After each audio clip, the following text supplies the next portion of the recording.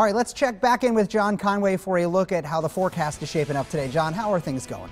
Yeah, it's looking pretty good out here in Stratford. Uh, lots of abundant sunshine this morning. It's been an absolutely beautiful day. We have been seeing a few boaters going outside today, but today may not be the best day to go out on the Sound unless you're a highly experienced boater, as the winds are going to be very gusty out of the northwest at 15 to 20 miles per hour, at times gusting to 30 knots, and those seas are going to be kicking up around three to five feet out on the Sound. So if you uh, are, are only in a small boat, you're going to want to be a little careful, maybe think twice before going out today, maybe wait until tomorrow. All right. John, thank you so much.